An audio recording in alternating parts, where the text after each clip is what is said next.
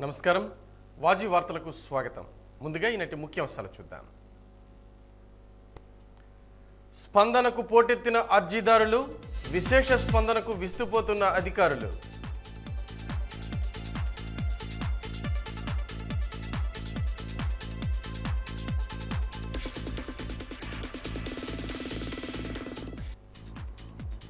కళాశాల ల్యాబ్లో కుప్పకూలి మృతి చెందిన విద్యార్థిని. అనారోగ్యంతో ఒత్తిడికి లోనవ్వడంతో సంఘటన జరిగిందన్న వైద్యులు.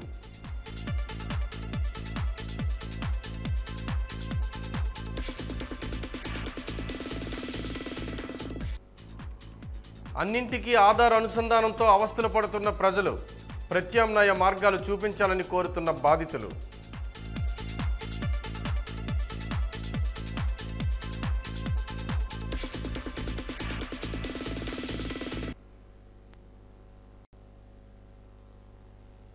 ఇక వివరాలు చూద్దాం.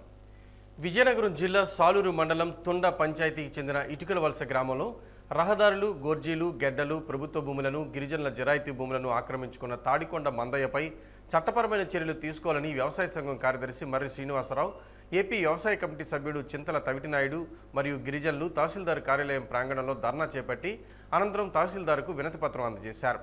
స్థానిక తహసీల్దార్ కార్యాలయంలో చింతల తవిటినాయుడు మరి శ్రీనివాసరావులు మాట్లాడుతూ ఇటుకవలస నుంచి మామిడికి వెళ్ళే రెండు రహదారుల గోర్జీలను ఆక్రమించారని ఇతర గ్రామాలకు వెళ్ళడానికి అవకాశం లేకుండా కంచెను ఏర్పాటు చేశారని నందికొండల నుండి వచ్చే గెడ్డల యొక్క గెడ్డపోరంబోకు భూములను కూడా ఆక్రమించి పామాయిల్ తోటలను వేసుకున్నాడని ఆరోపించారు. అలాగే వీటితో పాటు ప్రభుత్వ బంజరు భూములు కూడా ఆక్రమించాడని. ఇటీవలే గ్రామానికి చెందిన నిమ్మక రామారావు సన్నాఫ్ లేటు ముత్యాలు యొక్క జిరాయితీ భూమి ఆరు ఎకరాలను దురాక్రమణ చేశాడు కావున తక్షణమే రహదారులు గెడ్డలు ప్రభుత్వ భూములు గిరిజన జిరాయితీ భూముల్లో దురాక్రమణ చేసినందుకు తాడికొండ మందయ్యపై చట్టపరమైన చర్యలు తీసుకోవాలని భూములపై సమగ్ర సర్వే చేయాలని ఇటుకవలస నుండి మామిడికి రోడ్డు వేయాలని వారు డిమాండ్ చేశారు.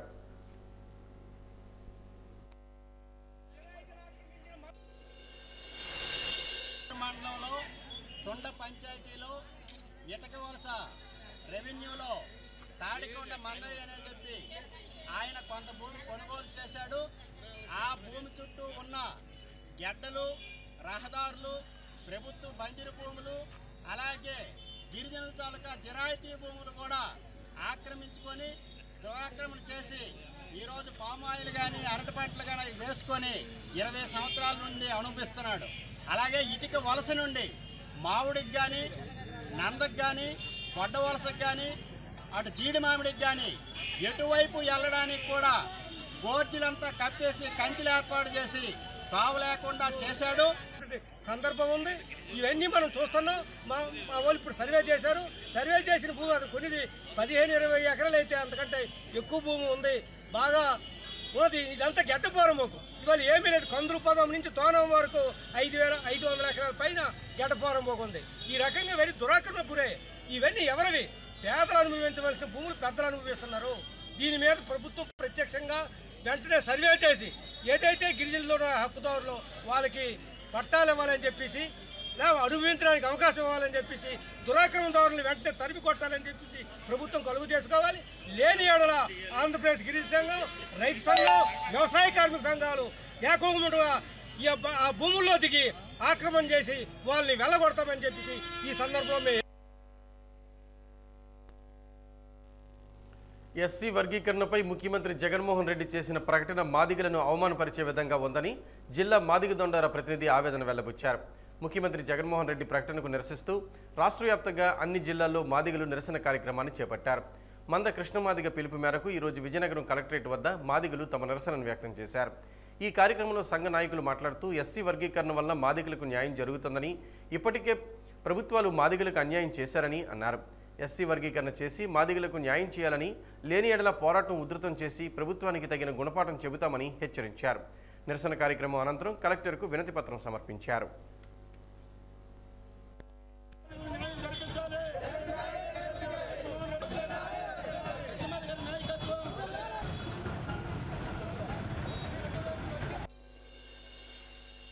రాష్ట్రంలో మాదిగలకు జరుగుతున్న అన్యాయంపై ఈ రా ఈరోజు ఈ రాష్ట్ర వ్యాప్తంగా అన్ని కలెక్టరేట్ల ముందు నిరసన కార్యక్రమాలు జరుగుతున్నాయి. ఎందుకంటే ఈ అసెంబ్లీలో జగన్మోహన్ రెడ్డి గారు మాట్లాడే విధానం చాలా బాధాకరమైనది. ఎస్సీ వర్గీకరణ జరిగితే ఈ రాష్ట్రంలో మాదిగల మాదిగల ఉపకులాలకు భవిష్యత్తు ఉన్నదని మేము ఇరవై ఐదు సంవత్సరాల నుంచి ఉద్యమం జరుగుతున్నది. అదేవిధంగా నారా చంద్రబాబు నాయుడు గారు ముఖ్యమంత్రి ఉండేటప్పుడు రెండు వేల నుంచి రెండు వేల నాలుగు వరకు వర్గీకరణ జరిగితే ఎంతోమంది మాదిగ పిల్లలకు ఉద్యోగాలు అయితేనేమి డాక్టర్ సీట్లు అయితేనేమి విద్యా విధానాలు అయితేనేమి అన్ని రాయితీలో లబ్ధి పొందారు. ఆ విధంగా కోర్టులో కొట్టవేయడం జరగబడిన రాజశేఖర్ గారు అలాగే ముఖ్యమంత్రి రాజశేఖర్ గారు అసెంబ్లీ తీర్మానం చేసి కేంద్రాన్ని పంపించారు.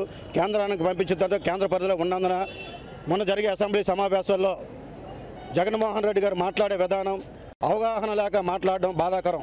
వీళ్ళలో ఉండే వెనుకబడి జాతులకు మాత్రం మాకు వర్గీకరణ జరిగితే మేలు జరుగుతుందని మేము ఆశిస్తున్నాం. అందుకని జగన్మోహన్ రెడ్డి గారు మంచి నిర్ణయం తీసుకొని మాకు జాతికి మాదిక జాతికి ఉపకులాలకి వర్గీకరణ చేసి మాకు ఎంతో దైవంలా భావిస్తామని మేము కోరుచున్నాం.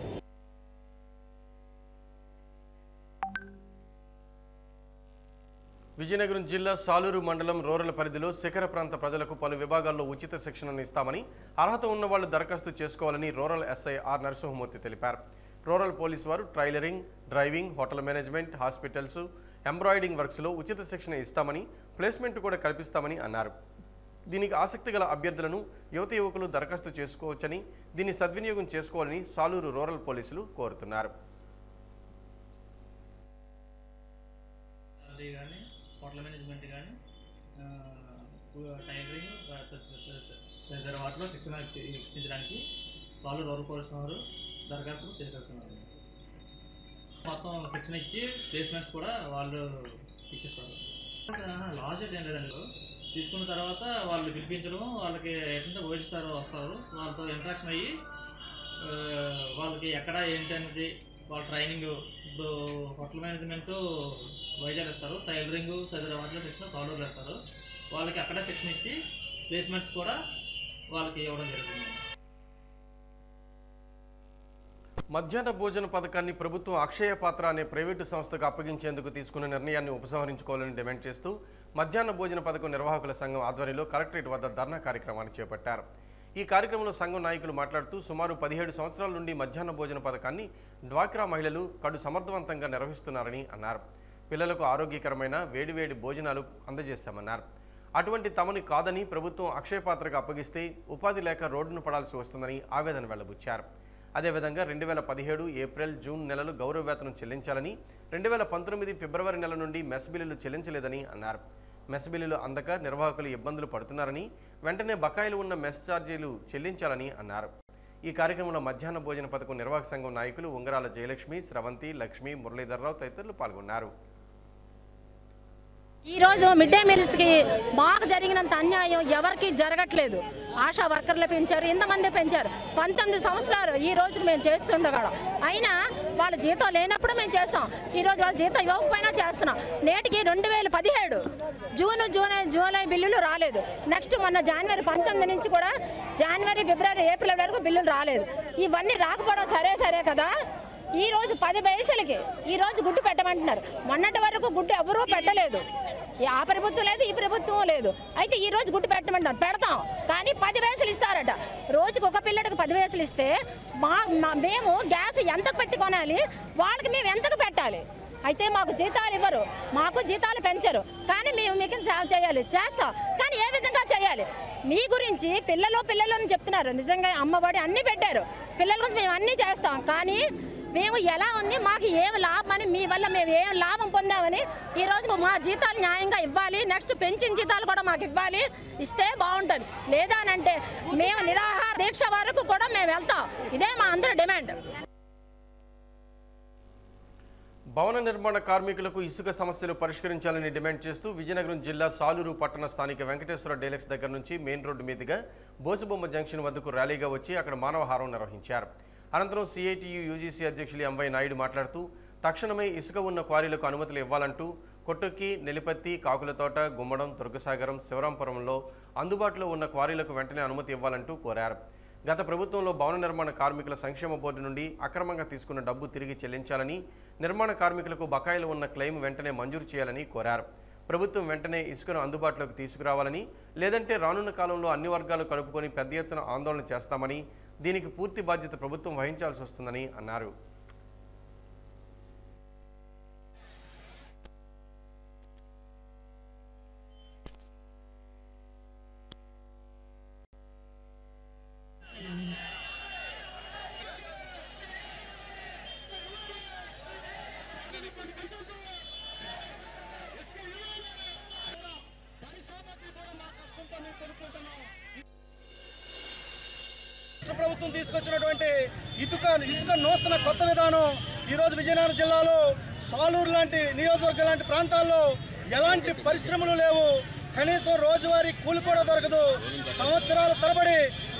భవన నిర్మాణ కార్మికులందరూ ఈ వృత్తినే నమ్ముకొని ఈరోజు జీవనం కొనసాగిస్తున్నారు.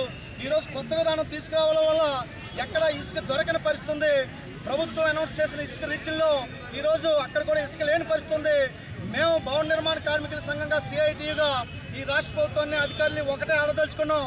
ఇసుక ఉన్న అన్ని రీచ్ల్లో కూడా అనుమతులు ఇవ్వండి. ప్రభుత్వం చెప్తుందోటి కింద జరిగిందోటి ఇసుకకు పెట్టుకున్న ఇరవై నాలుగు గంటల్లో ఇసుక ఈరోజు సాలూరు వస్తే ఈ ప్రభుత్వానికి లేదా ఇసుక శాఖ మంత్రికి రాష్ట్ర ప్రభుత్వానికి మేము చూపిస్తాం. ఇసుక లేక తాపి మేస్తులు ఆడుకూలి మగకూలి ట్రాక్టర్లు నాటుబళ్ళు అందరూ కూడా గడిచిన మూడు నెలలుగా వస్తులతో ఉన్నారు. దీనికి కారణం ఎవరని అడుగుతున్నాం? మేము ఈ ముఖ్యమంత్రిని మంచి పరిపాలన చేయమన్నాం తప్పితే ఎక్కడ ప్రభుత్వ ఉద్యోగాలు ఇమ్మనలేదు. వాలంటీర్ పోస్టులు ఓటాలు అడగలేదు. అగ్రికల్చర్ యూనివర్సిటీలో డైలీ వేజ్ లేబర్కు పెర్మనెంట్ పని కల్పించాలని డిమాండ్ చేస్తూ సిఐటియు ఆధ్వర్యంలో ఈరోజు కలెక్టర్ కార్యాలయం ఎదుట ధర్నా కార్యక్రమాన్ని చేపట్టారు. ఈ ధర్నా కార్యక్రమంలో సిఐటియు టౌన్ ఉపాధ్యక్షులు రమణ మాట్లాడుతూ విజయనగరం గాజులరేగలో ఉన్న అగ్రికల్చర్ యూనివర్సిటీ ప్రారంభం నుండి పనిచేస్తున్న కాంట్రాక్ట్ కార్మికులను రెగ్యులర్ చేయాలని అలాగే గత నాలుగేళ్ళుగా వేతనం పెంచలేదని ప్రస్తుతం ఉన్న నాలుగు వందల తొంభై రూపాయల కనీస వేతనాన్ని అమలు చేయాలని కోరారు. ఇక్కడ పనిచేస్తున్న అవుట్సోర్సింగ్ కార్మికులకు చట్టబద్ధత కల్పించాలన్నారు.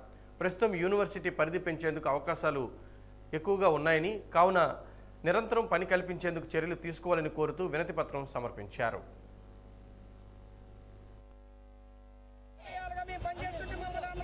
చేయాలిగా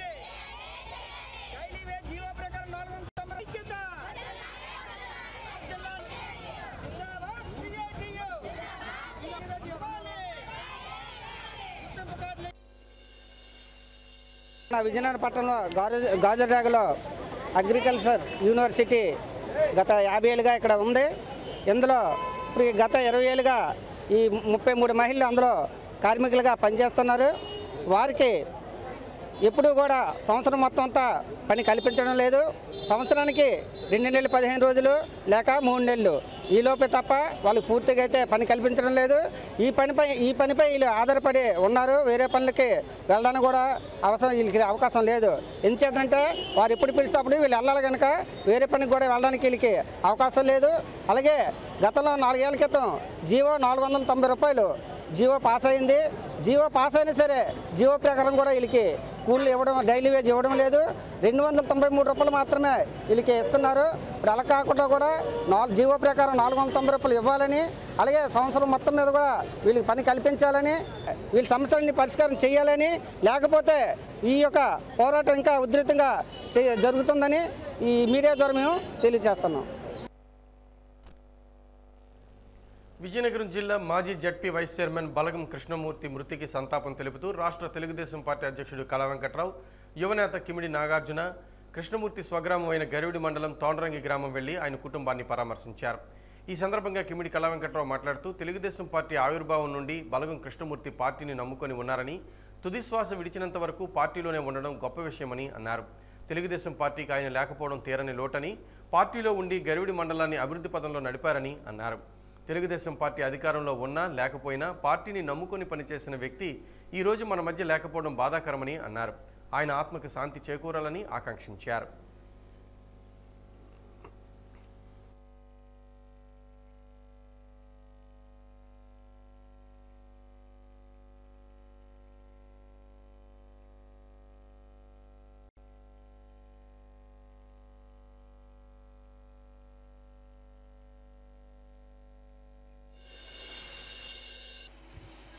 ఈరోజు మరి మంచి లేకపోవడం చాలా బాధాకరం. కృష్ణమూర్తి నాయుడు గారితో తెలుగుదేశం పార్టీ అనుబంధం ముప్పై ఎనిమిదేళ్ళ నాటిది. ఎనభై రెండులో పార్టీ పెట్టిన దగ్గర నుంచి ఎప్పుడు ఎక్కడ ఏ మీటింగ్ ఉందన్నా మరి యాక్టివ్గా పనిచేసేటటువంటి కృష్ణమూర్తి నాయుడు గారు రెండుసార్లు జడ్పీటీసీగా మరి అదేవిధంగా జిల్లా పరిషత్ వైస్ చైర్మన్గా రీసెంట్గా మొన్న నాలుగో తేదీ వరకు కూడా జిల్లా పరిషత్ వైస్ చైర్మన్గా ఆయన సేవలను అందించారు. మరి తెలుగుదేశం పార్టీకి ఆయన లేకపోవడం ఈరోజు తీరని లోటు. ఈ జిల్లాల్లో బీసీ వర్గాల నుంచి మరి అనేకమైనటువంటి సేవలు చేసినటువంటి వ్యక్తి ఈ ప్రాంతంలో రోడ్లు కానీ అదేవిధంగా ఎప్పుడు ఎక్కడ కనిపించినా కోటపల్లి రావాలి మా ప్రాంతం సుభిక్షంగా ఉండాలి నీరు రావాలి అంటే తోటపల్లి కావాలి అని చెప్పి మాలాంటి వాళ్ళని ఎప్పుడు అడిగేటటువంటి వ్యక్తి.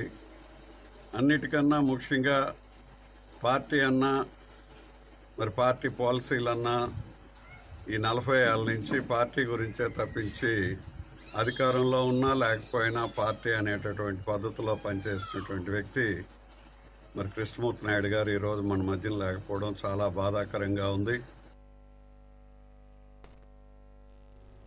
కార్గిల్ విజయ్ దివస్ వేడుకను జూలై ఇరవై నుండి జూలై ఇరవై ఏడు వరకు అన్ని ప్రదేశాల్లో నిర్వహిస్తున్నారు. ఇక్కడ కార్గిల్ యుద్ధంలో సాయుధ దళాల కృషికి జ్ఞాపకార్థం దేశవ్యాప్తంగా బీఎస్ఎఫ్ బెటాలియన్ మరియు సిఓబిని నియమించారు.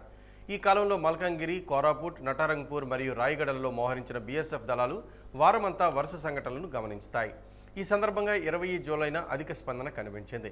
దీనిలో కార్గిల్ విజయ్ దివస్ అనే అంశంపై దేశభక్తి చలనచిత్రాలు మరియు దేశభక్తి ఇతివృత్తాలతో ప్రారణాత్మక ఉపన్యాసం వంటి కార్యక్రమాలు ప్రభుత్వ పాఠశాలలో నిర్వహించారు.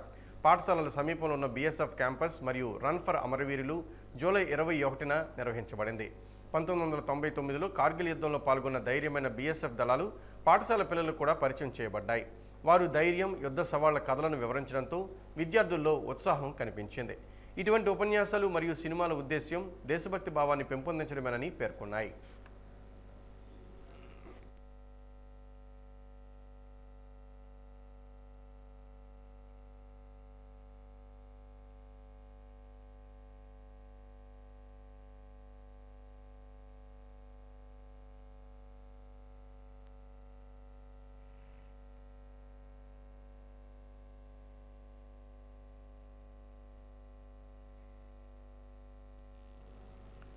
విజయనగరం జిల్లా కేంద్రమైన కలెక్టరేట్ కార్యాలయం అర్జీదారులతో కలకల్లాడుతూ ఓ పండగ వాతావరణం నెలకొంది.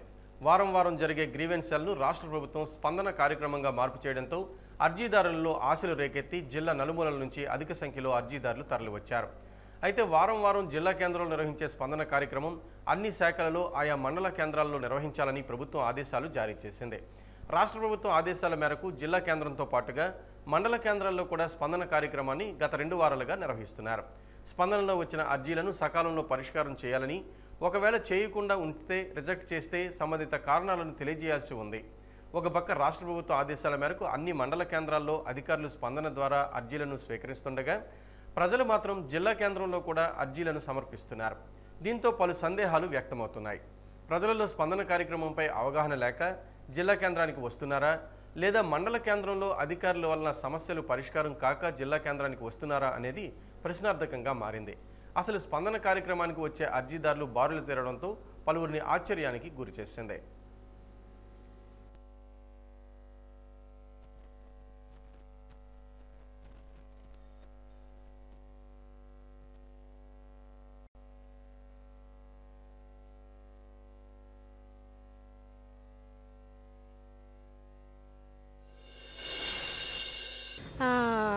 వజ్రంకుర చిట్ ఫండ్ బొబ్బుల్లో ఏజెంట్గా పనిచేస్తున్నాడు. అయితే ఆయన మా దగ్గరికి వచ్చి చీట్లు ఇప్పిస్తానని చెప్పేసి మా చేత సంతకాలు చేయించుకొని డాక్యుమెంట్స్ అన్నీ పట్టుకొని వెళ్ళి అతనే ఆ చీట్లు ఏమొచ్చి అతని పేరున కట్టేసుకొని మాకు ఐదేసి నెలలు మేము కట్టాం చీట్లు. మాకు ఆ చిట్టు మా పేరును కట్టలేదు. ఇదో ఏవో దొంగ పుస్తకాలు తీసుకొని వచ్చి దాని మీద సంతకాలు పెట్టించి ప్రతి నెల చూపించేవాడు. ఆ తర్వాత ఐదు నెలలు మూడు నెలలకి మీకు చీటీ ఇస్తానన్నాడు. అలాగే ఐదు నెలలు గడిపేశాడు. సంవత్సరం గడిపాడు. మా డాక్యుమెంట్స్ మావి బుక్స్ ఏవైనా అడిగితే ఆ చిట్ ఫండ్ మనకు పాట ఇవ్వలేదండి. ఎలాగైనా అబద్ధాలు చెప్పాడు. తీరా మాకు అవార్డు అయిపోయింది శాలరీకి. మొన్న జూన్ ఆరో తారీఖుకి అప్పుడు కానీ మాకు తెలియలేదు. మమ్మల్ని ఏమో వచ్చి షూరిటీల కింద చూపించాడు. మేము ఒక పది మందిమి ఆయనకు షూరిటీల కింద ఉన్నట్టు చూపించాడు. ఆల్రెడీ మాకు అవార్డు కింద వచ్చింది. శాలరీ జూన్ ఆరు నుండి కటింగ్కి వచ్చింది. మిషన్ చూస్తామని మాతోని అలా మాట్లాడారు. సరే అని పోనీ మా శాలరీకి వచ్చింది కదా ఏదో చేద్దాము కట్టుకుందామంటే వాళ్ళేమొచ్చి మాకు అకౌంట్లో వేయండి. మీరు ఒక్కొక్కరు కడితే అవ్వదు. కూరగాయల బిజినెస్ ఏంటో ఇది అని చాలా దినిగా మాట్లాడారు. మేము కోర్టులో పని కడతామండి. ఇదేంటి ఇలాగా అనేసారంటే అలాగే అలాగా వాళ్ళు ఒప్పుకోలేదండి. చివరికి శాలరీ అటాచ్మెంట్కి వచ్చిందండి. ఇతను నన్ను మమ్మల్నే కాదు చాలామంది మాకులాగా అనేక మందిని మోసం చేశాడు. వైజాగ్లో కూడా మోసం చేసి ఒక డెబ్బై లక్షలు మోసం చేసి అక్కడ క్రిమినల్ కేసులు తర్వాత మా సివిల్ కేసులు కూడా ఉన్నాయండి. చాలామందిని మోసం చేశాడు. అయితే ప్రభుత్వ భూమి డెబ్బై బై ఒకటి ఇరవై మూడు బై ఒకటి సర్వే పది కోట్ల రూపాయలు విలువైన భూమిని అనేకరంతంగా ఇప్పుడు గతంలో ఇరవై సంవత్సరాలు బట్టి అది వేరే వాళ్ళు ఆక్యుపై చేసి ఉన్నారు. దాని మీద దళితులంగా మేము కలెక్టర్ గారికి గతంలో కూడా రెండు వేల పన్నెండులో పిటిషన్ పెట్టాం. ఆ పిటిషన్ని అయితే అప్పుడు శోభా శోభా మేడం అని జాయింట్ కలెక్టర్ గారు దాని మీద ఇది పేపర్ కూడా ఇచ్చారు సంతకం పెట్టేసి అది ప్రభుత్వ భూములు ప్రభుత్వం కప్పచెప్పమని అది ఈరోజు కూడా దాన్ని ఎటువంటి చర్యలు అయితే తీసుకోలేదు దాని మీద. దాన్ని ఈరోజు మళ్ళీ వేరే వాళ్ళు వచ్చి అది ఆక్యుపై చేసుకోవడము దాని మీద అనేకమైన అక్రమ కట్టడాలు కట్టడం జరుగుతుంది. దాన్ని కలెక్టర్ గారు ఇప్పుడు జాయింట్ కలెక్టర్ గారు స్పందించి ఎంఆర్ఓ గారికి ఫోన్ చేస్తారు. దాని మీద ఎటువంటి స్పందన అర్జెంటుగా తీసుకోమని చెప్పారు. దానివల్ల నేను కలెక్టర్ గారికి నివేదిక ఇవ్వడం జరిగిందండి. ఫ్యాక్టరీ దగ్గర వంతల చిన్నమ్మలు అని చెప్పి ఒక ఎస్టీ అబ్బాయిని రిజిస్టర్ మ్యారేజ్ కూడా చేసుకుంది. ఈ అమ్మాయికి ఒక ఇద్దరు పిల్లలు ఉన్నారు. అయితే ఎస్టీ అబ్బాయిని పెళ్ళి చేసుకునే ఆలోచనతో ఈ ఇంటి పక్కన ఉంటున్న కొంతమంది వచ్చి ఆ ఇల్లుని గట్ట శుభ్రంగా ఇరిపి చాలా దారుణంగా ఇబ్బందులు పెడుతూ ఉన్నారు. ఇదే విషయం పైన సుమారు ఒక మూడు సంవత్సరాల నుంచి ఒక మహిళ ఒక పేదరాలు అంటే ఒక నిరుపేద కుటుంబంకు చెందిన ఆవిడ ఒక పోలీస్ స్టేషన్ చుట్టూ మూడు సంవత్సరాలు తిరగడం చాలా బాధాకర విషయం. ఎందుకంటే అధికారులు పేదవాళ్ళు గుర్తించాలా? పేదవారిని గుర్తించకుండా ఏదో ఉన్నదాని పేరుకేమో డబ్బున్న వాళ్ళ దగ్గరికి వెళ్ళి కుర్చీలో కూర్చోబెట్టడం కాదు. ఒక పేదవాళ్ళు అంటే సాజీకి డబ్బులు కూల్ చేసుకుని బతికితే కానీ వీళ్ళకి గడదు అటువంటిది మూడు సంవత్సరాల నుంచి అధికారులు ఇలా తిప్పించడం చాలా తగదు. ఎందుకంటే ఎఫ్ఐఆర్ కూడా నమోదైంది కనీసం కొట్టిన వాళ్ళపైన చర్యలు తీసుకోకుండా ఇప్పటి వరకు అధికారులు ఉన్నారు. దయచేసి ఎస్పీ మేడం గారు ఈ విషయాన్ని వెలుగులోకి తీసుకుని ఈవిడిపై ఎవరైతే ఇబ్బందులు పెడుతున్నారో వాళ్ళపై చర్యలు తీసుకుని ఈ ఫ్యామిలీకి న్యాయం చేయవలసిందిగా నేను దళిత సత్తా విద్యార్థులు మానసిక ఆరోగ్య పరిస్థితులను పరిగణలోకి తీసుకోకుండా పిల్లలపై ఒత్తిడి తీసుకువస్తే జరిగే అనర్థాలు చోటు చేసుకుంటున్న వాస్తవ పరిస్థితులను చూస్తున్న తల్లిదండ్రుల్లో మార్పు రాకపోవడం శోచనీయం. విద్యార్థి ఒత్తిడికి గురై మృతి చెందిన సంఘటన విజయనగరం జిల్లా పార్వతీపురంలో చోటు చేసుకుంది. వివరాలకు వెళ్తే పార్వతీపురం పట్టణం భాస్కర జూనియర్ కళాశాలలో ఇంటర్ ద్వితీయ సంవత్సరం చదువుతున్న కోటవాని వలస గ్రామానికి చెందిన కె. నందిని కొద్ది రోజులుగా జ్వరంతో బాధపడుతోంది. వైరల్ ఫీవర్తో బాధపడుతున్న ఆమె గత కొద్ది రోజులుగా కళాశాలకు రాలేదు. అయితే ఒక పక్క తల్లిదండ్రులు మరోపక్క కళాశాల యాజమాన్యం ఒత్తిడి తీసుకురావడంతో నందిని ఈరోజు కళాశాలలో జరిగే ప్రాక్టికల్స్కు హాజరయ్యింది. ప్రాక్టికల్స్ జరుగుతున్న సమయంలో ఉన్నపళంగా నందిని కుప్పకూలి పడిపోవడంతో విద్యార్థులు పాఠశాల యాజమాన్యం విద్యార్థిని నందినిని పార్వతీపురం ఏరియా ఆసుపత్రికి తరలించారు. వైద్యులు వైద్య పరీక్షలు నిర్వహించగా అప్పటికే విద్యార్థిని చనిపోయినట్లు డాక్టర్లు నిర్ధారించారు. దీంతో కళాశాలలో విషాద ఛాయలు అలుముకున్నాయి. నందిని మృతి సమాచారం తెలుసుకున్న సహచర విద్యార్థిని విద్యార్థులు తీవ్ర దిగ్భ్రాంతికి లోనయ్యారు.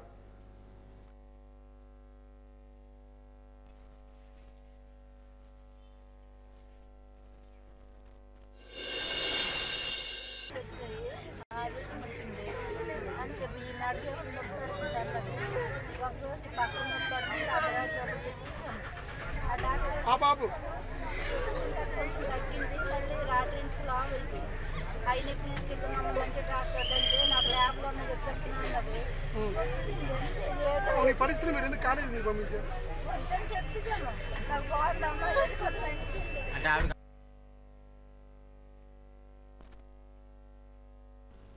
అటవీ ప్రాంతంలో ఉన్న ఆదివాసీలను అటవీ ప్రాంతం నుంచి మైదాన ప్రాంతాలకు పంపించాలని సుప్రీంకోర్టు ఇచ్చిన తీర్పుపై గిరిజనులు గిరిజన రైతు సంఘాలు తీవ్ర ఆగ్రహాన్ని వ్యక్తం చేస్తున్నాయి.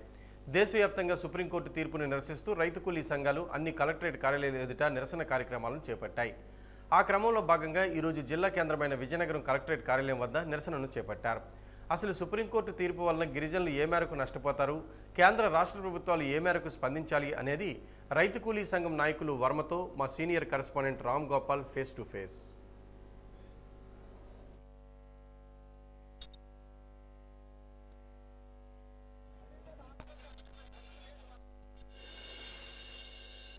అటవీ ప్రాంతంలో ఉన్న ఆదివాసీలను తొలగ ఖాళీ చేయంతో సుప్రీంకోర్టు ఇచ్చిన తీర్పులను నిరసిస్తూ దేశవ్యాప్తంగా రైతు కూలీ సంఘాలు ఆందోళన చేపట్టాయి. ఆ క్రమంలోనే ఈరోజు విజయనగరం జిల్లా కలెక్టరేట్ కార్యాలయం ముందు ఏపీ రైతు కూలీ సంఘం ఆధ్వర్యంలో మా- నిరసన కార్యక్రమం చేపట్టారు. అయితే ప్రధానంగా రైతు కూలీ సంఘం తాలూకా ప్రధానమైన డిమాండ్లు ఏంటి?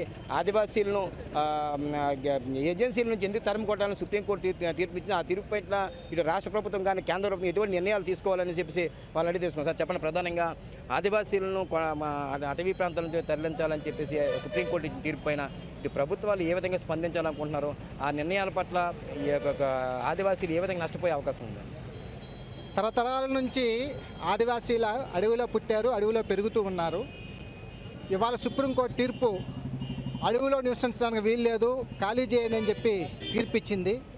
దీనివల్ల సుమారుగా పదిహేడు రాష్ట్రాల్లో ఉండే పదకొండు లక్షల మంది ఆదివాసీలు ఈ నెల జూలై ఇరవై ఏడో తారీఖులో ఖాళీ చేయమని సుప్రీంకోర్టు తీర్పు ఇవ్వడంతో ఇవాళ గిరిజనులందరూ కూడా ఆందోళన చెందుతూ ఉన్నాము.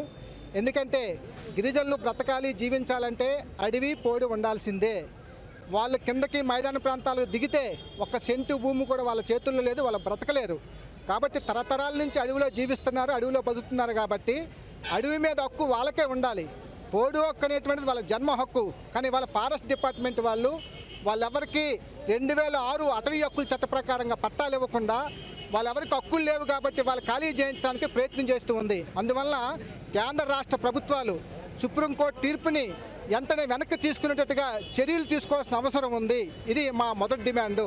రెండో డిమాండ్ ఇవాళ ఆదివాసీలు ప్రతి సెంటు భూమి కూడా మళ్ళీ వీళ్ళు సర్వే చేసి అటవీ హక్కుల చట్ట ప్రకారంగా అందరికీ హక్కులు కల్పించాల్సిన బాధ్యత ఉంది. ఇది మా రెండో డిమాండు. మూడో డిమాండ్ ఏంటంటే అడవి మీద ఇవాళ బహుళజాతి సంస్థలు రకరకాల కంపెనీలు వాళ్ళు అడవిని ఆక్రమించడానికి రకరకాల ప్రయత్నాలు చేస్తూ ఉన్నారు. బాక్సైటు గ్రానైటు రకరకాల పేరుతోటి ఇవాళ అడవిలో సంపదను కాజేయడానికి ప్రయత్నం చేస్తున్నారు వెంటనే దీనికి కూడా కూడా ప్రభుత్వం వాళ్ళకి ఇవ్వకుండా అడవిలో నివసించడానికి ఆదివాసీలకు కాకుండా కానీ బౌలుజాతి సంస్థలకు ఎటువంటి పర్మిషన్ లేకుండా వాళ్ళ అడవిని కాపాడాల్సిన బాధ్యత ఉంది. గిరిజనులు రక్షించాల్సిన బాధ్యత ఉందని చెప్పేసి మేము రైతు కూలీ సంఘంగా డిమాండ్ చేస్తున్నాం. బాధ్యతుంటే ఇవాళ ఆదివాసీలు రక్షించాల్సినటువంటి అవసరం ఉందని చెప్పేసి మేము రైతు కూలీ సంఘంగా ప్రభుత్వాన్ని డిమాండ్ చేస్తున్నాం. ఇవాళ రాష్ట్ర వ్యాప్తంగా రైతు కూలీ సంఘం ఆధ్వర్యంలో అన్ని జిల్లా కలెక్టర్స్ దగ్గర కూడా ధర్నా చేస్తున్నాం. ఇదే రోజు శ్రీకాకుళంలో జరుగుతూ ఉంది. మొత్తం రాష్ట్రంలో ఉన్న అన్ని జిల్లాల్లో కూడా ఆదివాసీలందరూ కూడా కలెక్టరేట్ల దగ్గరకు వచ్చి మెమోరాండాలు ఇచ్చి స్పందించమని మేము కోరుతూ ఉన్నాం.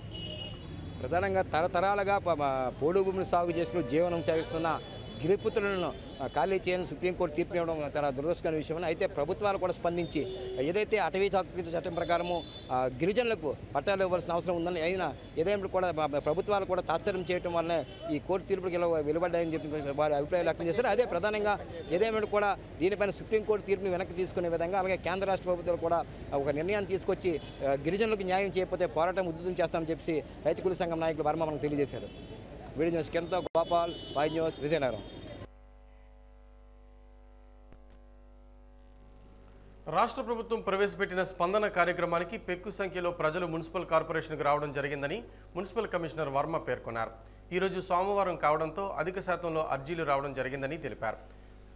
ఈ సందర్భంగా ఆయన మాట్లాడుతూ రాష్ట్ర ప్రభుత్వం వృద్ధాప్య వితంతు వికలాంగ ఒంటరి మహిళ మొదలగు పింఛనదారులకు వయోపరిమితి అరవై ఐదు సంవత్సరాల నుండి అరవై సంవత్సరాలకు తగ్గించడంతో స్పందన కార్యక్రమానికి అధిక శాతంలో దరఖాస్తులు రావడం జరిగిందని తెలిపారు.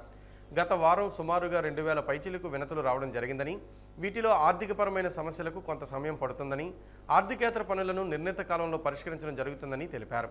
అంతేకాక వృద్ధాప్య వితంతు వికలాంగ పింఛన్లు గతంలో ఏ ప్రదేశాలలో ఇస్తున్నారో మరల తిరిగి అదే ప్రదేశంలో కొనసాగుతాయని ఎవరూ కూడా అధైర్యపడవద్దని భరోసా కల్పించారు.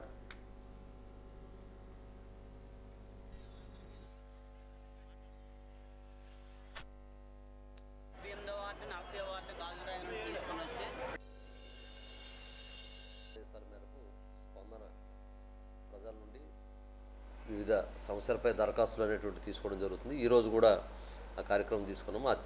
చాలామంది పోయిన నెలలో లాస్ట్ వీక్ అయితే తొంభై ఆరు దరఖాస్తులు వచ్చాయి. అందులో ఎనభై వరకు కూడా ఈ పెన్షన్స్ ఉన్నాయి. ఈరోజు కూడా ఇప్పుడు మాకు ఇందాక కూడా వరకు చూస్తే నూట పది దరఖాస్తులు వచ్చాయి అప్పటికే. దాంట్లో ఎక్కువ ఒక నాలుగు దరఖాస్తులు తప్ప అన్నీ కూడా పెన్షన్స్ సంబంధించి ఉన్నాయి. అవి కూడా వృద్ధాప్య పెన్షను వితంతు పెన్షను అదే వికలాంగ పెన్షన్స్ ఉన్నాయి.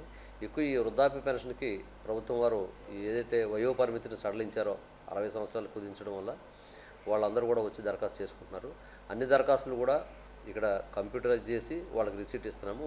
కోర్టు లిటిగేషన్ లేనివి అదేవిధంగా నిధులకు సంబంధించి లేనివి ఏమైనా ఉన్నట్లయితే వాటికి కూడా అంటే ఏదైనా లైట్ పోయింది కాలువలు శుభ్ర శుభ్రపరచకపోవడం ఇటువంటి ఉన్నట్లయితే ఇమ్మీడియట్గా వాటిని కూడా చేయడం అనేటువంటిది జరుగుతుంది.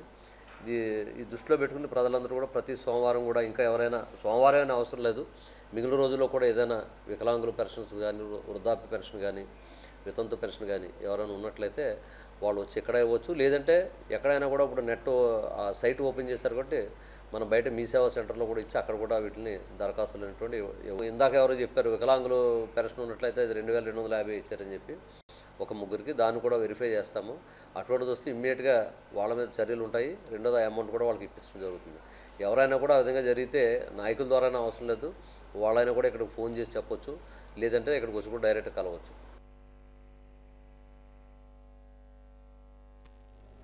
విద్యార్థులను లైంగిక వేధింపులకు గురి చేయడం కాదన్న వారిపై దాడి చేసి గాయపరిచిన సంఘటన పార్వతీపురంలో వెలుగులోకి వచ్చింది. వివరాలకు వెళ్తే సీతానగరం మండలం జోగింపేట గురుకులం వసతి గృహంలో జరిగిన దారుణం నేడు వెలుగులోకి వచ్చింది.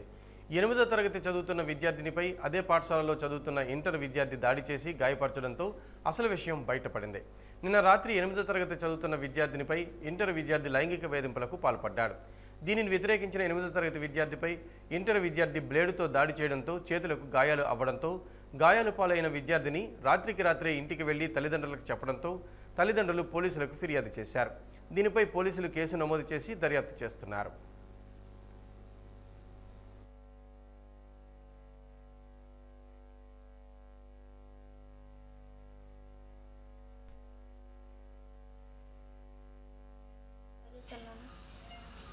నైట్ పడుకున్న పడుకున్నప్పుడు కొంతమంది అన్నయ్యలు వచ్చి చేస్తే నేను వచ్చి లెగిసి ఒక అన్నయ్య కొడేసరికల్లా ముగ్గురు అన్నయ్యలు పరిగెట్టి వెళ్ళి పారిపోన్నారు.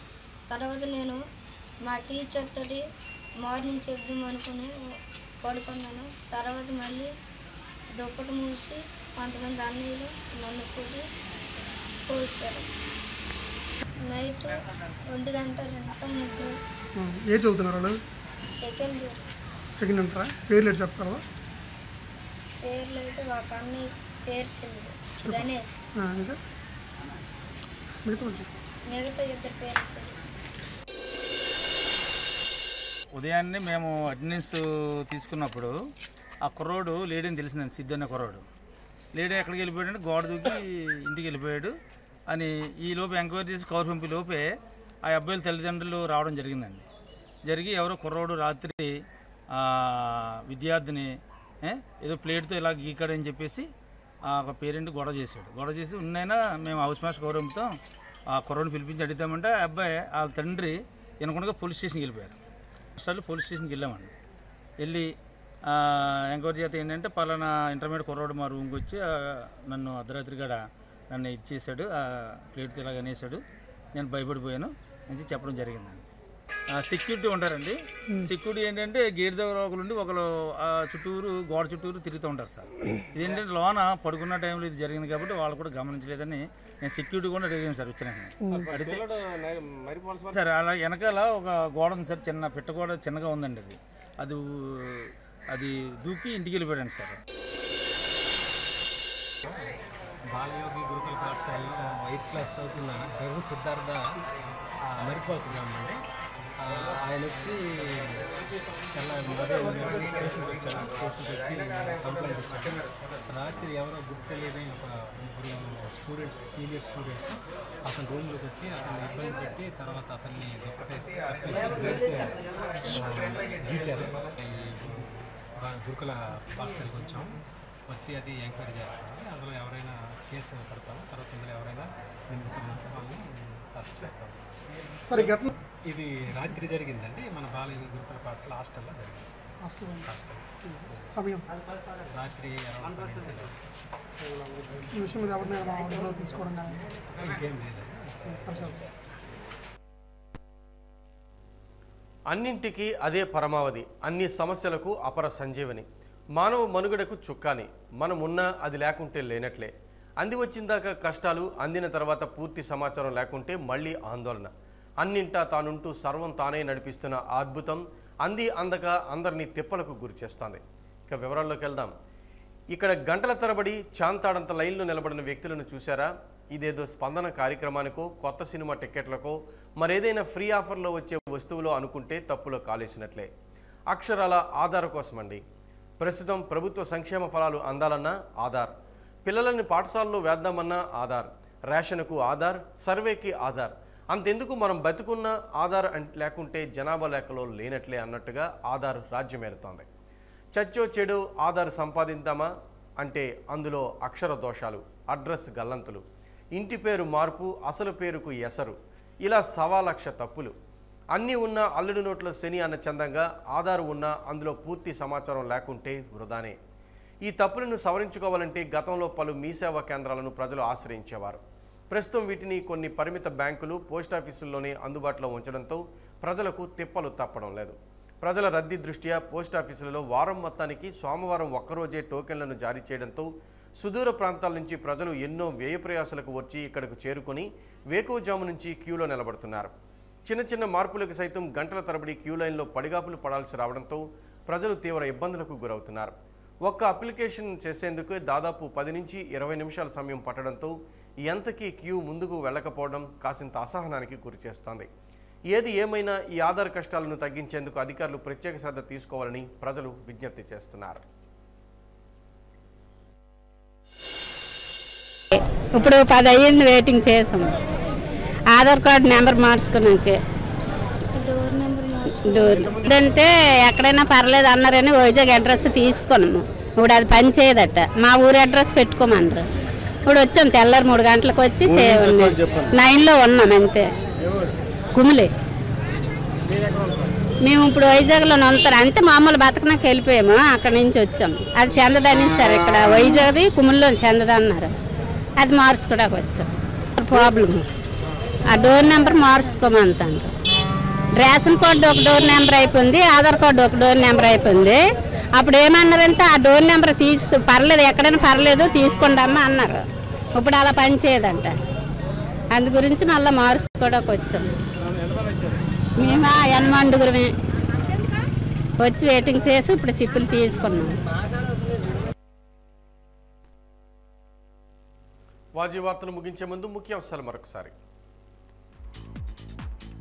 స్పందనకు పోటెత్తిన అర్జీదారులు విశేష స్పందనకు విస్తుపోతున్న అధికారులు.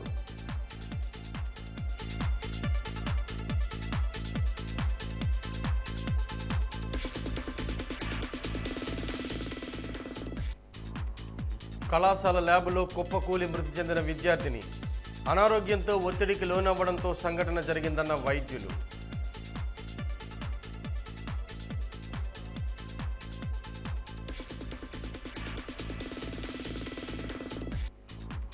అన్నింటికీ ఆధార అనుసంధానంతో అవస్థలు పడుతున్న ప్రజలు ప్రత్యామ్నాయ మార్గాలు చూపించాలని కోరుతున్న బాధితులు.